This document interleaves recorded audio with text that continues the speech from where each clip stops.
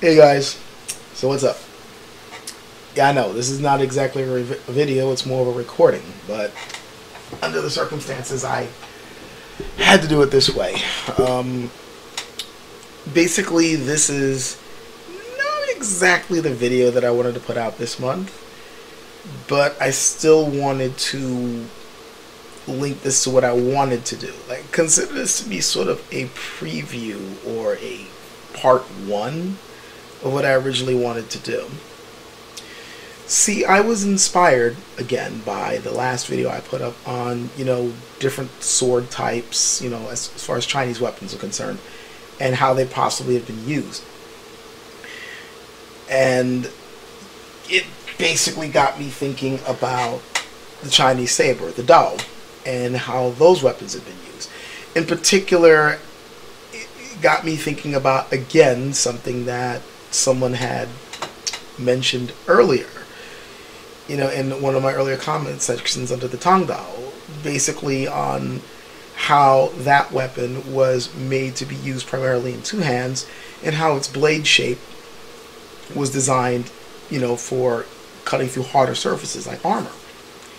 This got me thinking about the other Dao that had been made down the line, eh, all the way up to the common one that is used these days by Chinese martial artists, you know, practitioners, which is the oxtail Dao.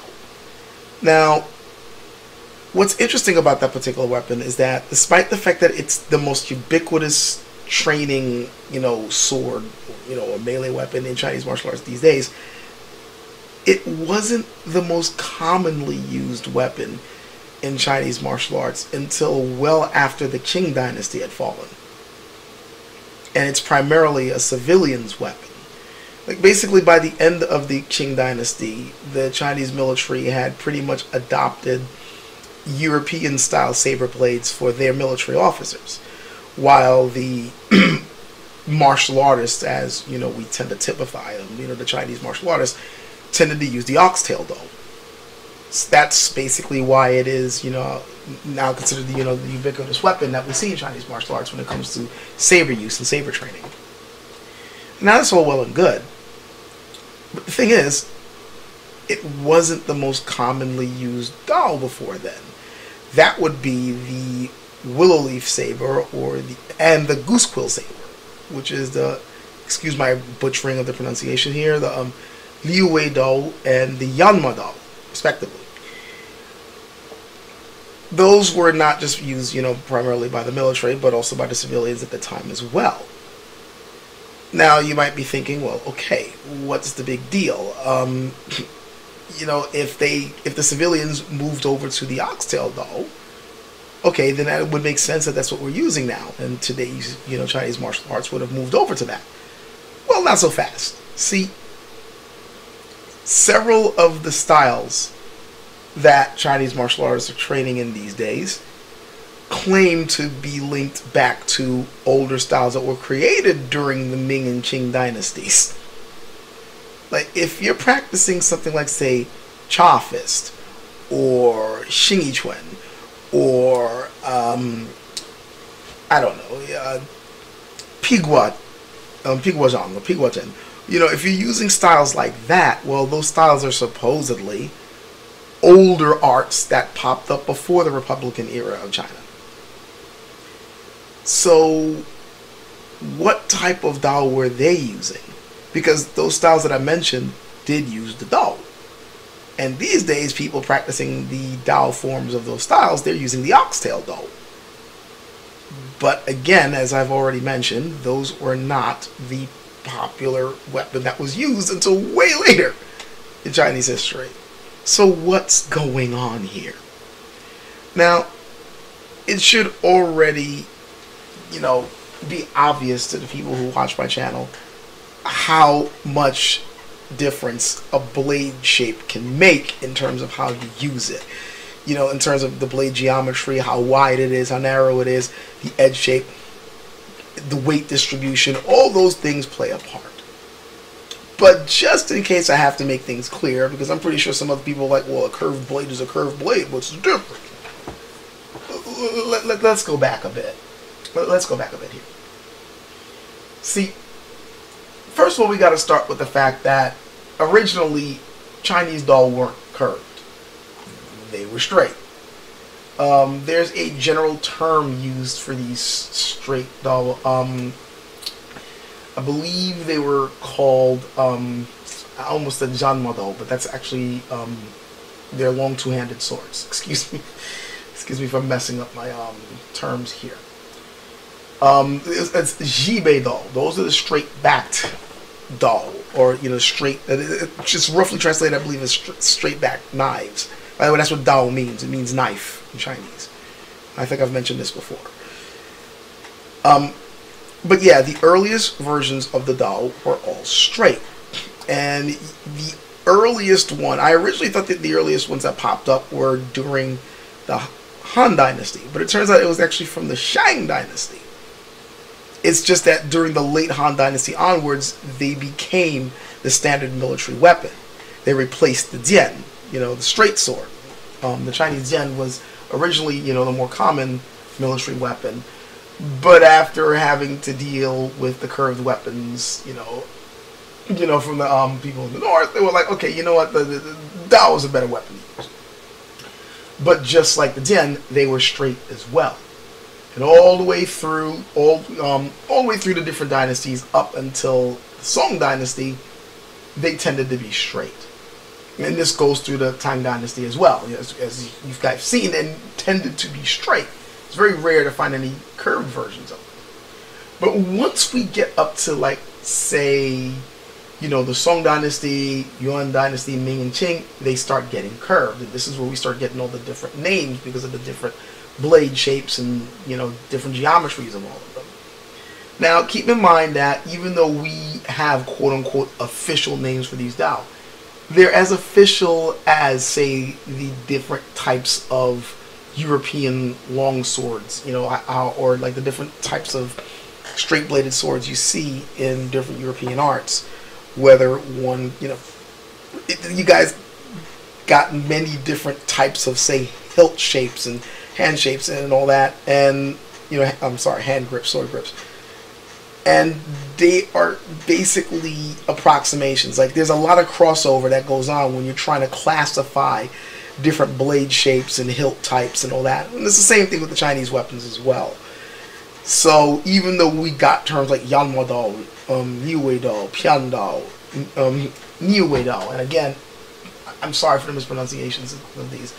Even we got those terms that we more or less have a general shape to work with, there is a lot of overlap and crossover and it can be hard to classify. But you know, for quick, hard, fast, dirty rules, this is what we're going through.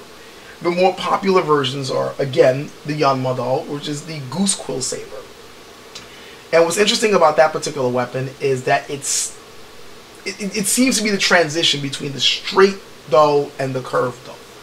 And many have surmised and have even argue, successfully argued that it was a good crossover for the Jian user who needs to start using Dao. Like if you're used to using straight weapons, you know, especially the straight sword, and then you move over to a Dao, which is more of a cutting weapon, but you got all these, you know, gen techniques. Well, how you know are you gonna like force yourself to relearn a whole weapon skill, or are you are you gonna like rely on the skills that you already have?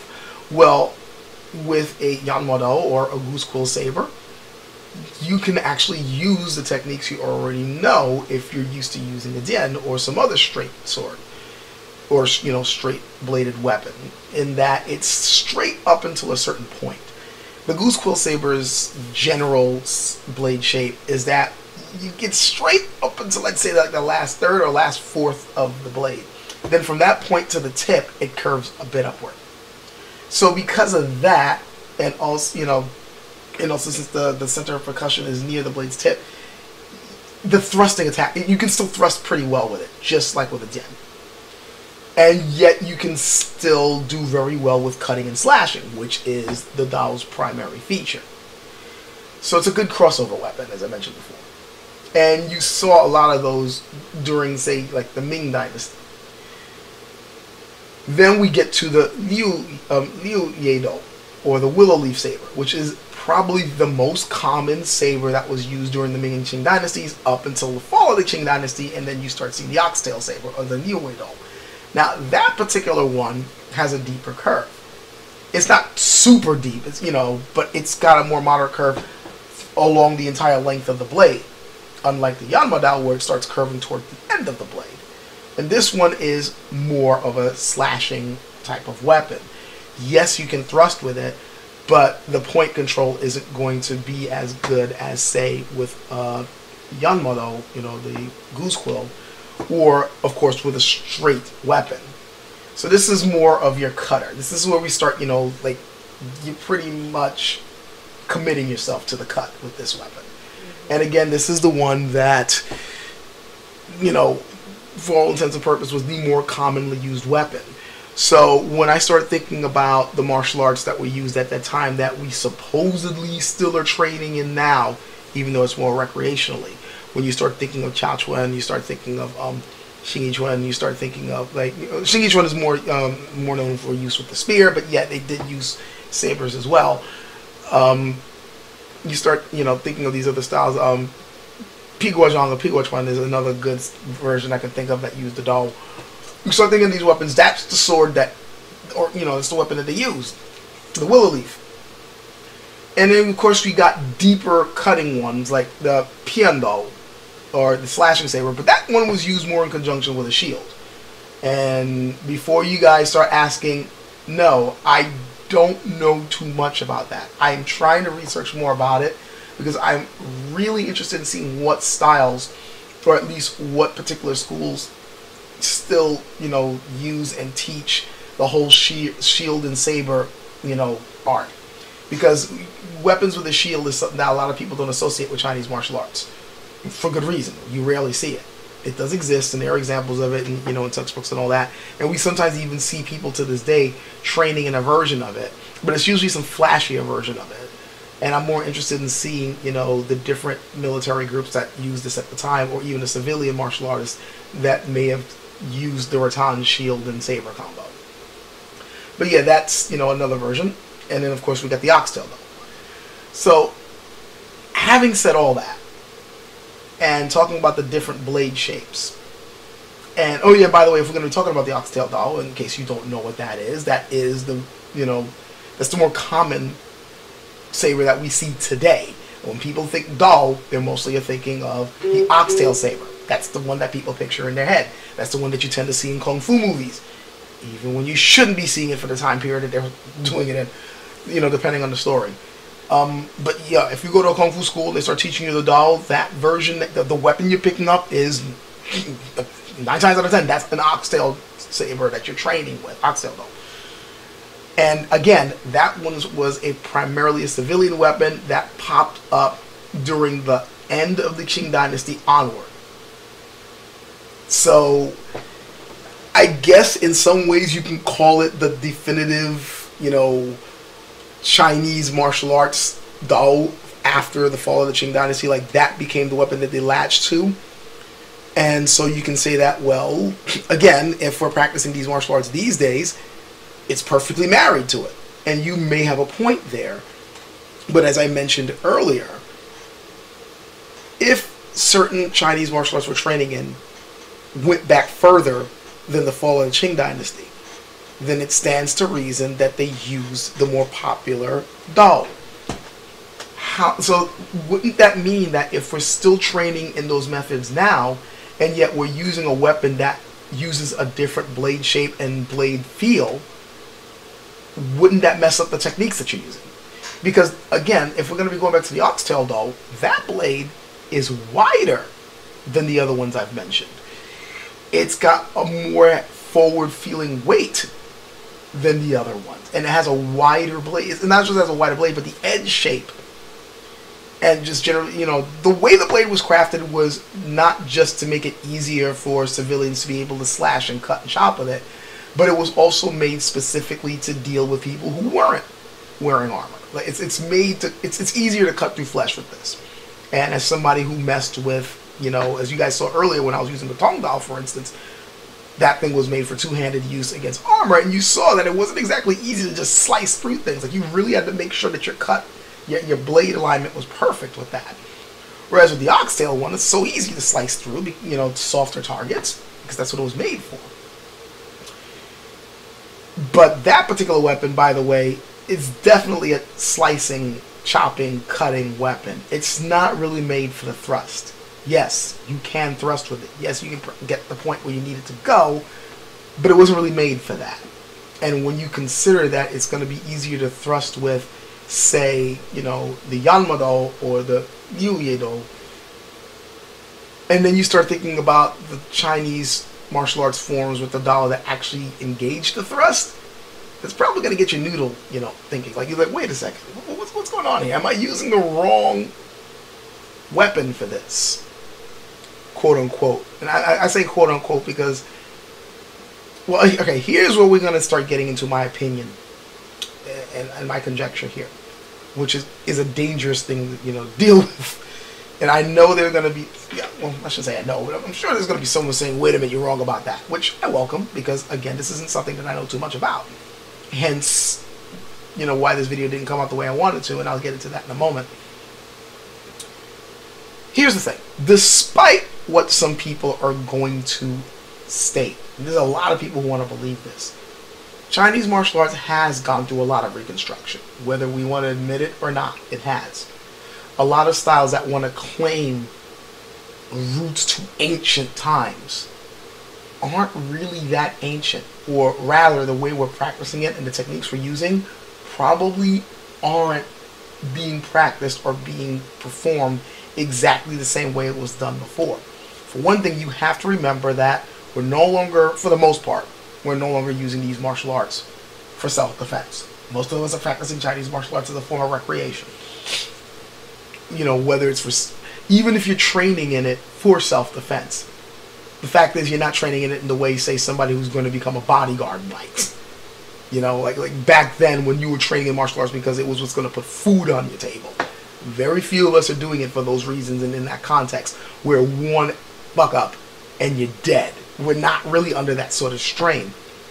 So that already removes a lot of, you know, the context of why we're training in this, which could alter the way we do our training. And believe it, me, it does definitely alter the way you train. Look at Tai Chi practitioners if you want a good example of that. But not only you have that aspect removing us from the way it was practiced in the past, but then there's also these large gaps where these arts just stopped being practiced for a little while. Despite people trying to claim, oh no, there was a continuous line. No, there wasn't.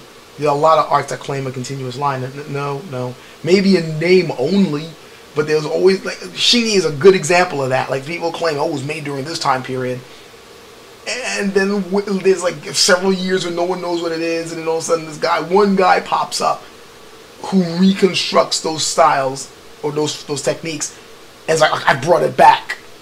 Well, there's controversy there. I mean, that's a subject for another video, but you might as well just say that this guy was the founder of this style, and he gave it this name. It starts with him but let's say that he did take those techniques from way before. He found a manual somewhere and reinterpreted the techniques. Which, by the way, a lot of Chinese martial arts start with a, a similar sort of say creation story like that. Like there was this older style and this great master made it, but he wrote it in a book and people forgot about it. And this guy found the book or was given to him by some immortal or fairy or old monk or some other mysterious person, and the guy recreates the techniques. Okay, fine but then that means you're it's no longer a direct line to whatever it originally was if indeed there was an original version of it and we do have more concrete versions of this a good example i can give to that is lost track boxing um, Mi Zhong Chuan, sometimes known as um, Yan Qing boxing. If there was ever an art that has been like brought up and then lost and then brought up again or reinterpreted or reformed. That it definitely um, um, lost track. It's just trying to research the history of lost track boxing. That that's a journey in and of itself. Uh, which I guess, considering the name of the style, I guess it's fitting. But it's all over the place and trying to figure out like who created it, how did it start, who was practitioners, like if you look at more fairly recent Chinese history, we can finally start coming with with a concrete development of it. I mean, it's probably its most famous practitioner was Huo Yuanjia, who later on helped to develop um, the or the um, lost track methods that later on formed a lot of the um, the forms and fist forms that were practiced in the now famous um, the Jing Wu school, which we later on get you know those movies you know Fist of Fury that Bruce Lee played the, the famous Chen Zhen character, and we can get on with that. But yeah, Huo Yuanjia practiced Mi Zhong Chuan, and yet if you want to okay, I want to study the original lost track. Good luck. There's a lot of arguments on whose version is the most original, which one is the most direct. Like, and considering that it has two names, you you, got either Mi Chuan or you got Yan Qing. Which one you want? and with different names, obviously, most likely there's going to be different interpretations. And then even with Mijong, you either got the Mijong fist or you got the Mijong methods. Which ones you want? See what I mean? So I mean, right there, just just that alone, it, within an art in and of itself, you can see examples where the path isn't straight. Its development, the so-called lineage, the so-called direct line back to its origins, there's some bumps along the way. The, the, the path is crooked. Things diverge. Now, when you mix that up with what happened during the fall of the Qing dynasty, the, the, rise of the Republican era, which soon later on fell apart, and then you get the Communist era, and we know how troubled that Chinese martial arts history was then. And then you put in what I asked before about Dao usage, and whether or not these forms that we're practicing now are they really from the past, and if so, are they the correct ones to use, quote unquote correct? Because I know you can modify anything to work with whatever weapon. You, you can find ways. I'm just simply saying, let's say there was a certain martial arts style that was made to be used with this particular type of Dao because of its particular blade characteristics. If we later on try to use those same techniques with a different shaped blade, what's going to have to change? Has anything changed? If things didn't change, then does that mean that we're, you know, we're not getting the full potential of those techniques? What's going on here? That's the question that I wanted answered, or at least to have a real answer for, for this video. And at the time of this recording, I do not have an answer. I don't have anything concrete. What I had been doing this month is trying to research that question. I've even reached out to people way more knowledgeable than me, you know, in terms of martial arts. I have not gotten a response yet. I have been told that my question was very interesting. Um, one person um, who I highly respect, and I'm hoping he gets back to me soon. Um, he said that he'll try to. They, said they'll try to get back to me on that one. Haven't got anything back so far, but they they're very very busy, so I can understand if I don't get an answer. But that that's basically what's keeping me from making this video the way I wanted it to. So basically, what you're hearing from me is just conjecture and history that you guys probably already know, and I apologize for that. I will say this: if I was gonna bet on it, I think the answer lies with a mix of yeah, it, it, the the forms we're practicing today were probably modified to work with the Dao that we use today and or people probably just are like you know whatever a saber is a saber is a saver. A Dao was a Dao was a Dao. There's probably a mix of that but i'm really thinking as i'm really thinking that the forms that we're training in today were probably modified to work with what we are training with. There's plenty of examples of that uh, and, and plenty of lots of evidence to see how things altered. I mean again look at tai chi chuan the way people are practicing it now these days is nowhere near with the way people were. If I go to a, a, typical Tai Chi Chuan practitioner and I go, so how's your weight training going? Weight training? What? Body conditioning. You guys at least engaging in that? What? They, they look at me as if I was nuts. That's not. That's not how you train Tai Chi Chuan, but that's what they did back in the past. you know what I mean? So just that alone, you can see there's a divergence. So imagine with weapons. So that that's where that's that's where I'm betting. I'm betting that yeah, things changed with the training tools that we've got right now. But I w- I'm really interested to see how they changed, who made the changes, um, or if there was that much of a change at all. And for those of you who do practice with the Dao, I would be interested, especially those of you who practice with different Dao. I'd be interested in hearing your guys' opinions on if there really is that much of a difference in usage between, say, a goose quill saber and an oxtail saber. Like, do you guys feel that there is that much of a difference? I would think that you can make it work between the weapons, but there's enough of a noticeable difference that you might have a preference. But I could be wrong. You know, so that, that that's basically where I'm going to end it off here. This is the path that I've put myself on this month, and so far this is all I've been able to gather. But I'm I'm hoping to be able to have a part two to this soon, where I can have something a little bit more concrete. Till then, I hope this was interesting enough for you guys, and I hope it sparks some good discussion. And I will catch you guys later.